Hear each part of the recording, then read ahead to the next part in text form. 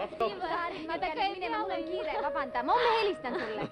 А что мы сегодня делаем? Ты что, первый раз на сборы приехала? Не первый, но все же.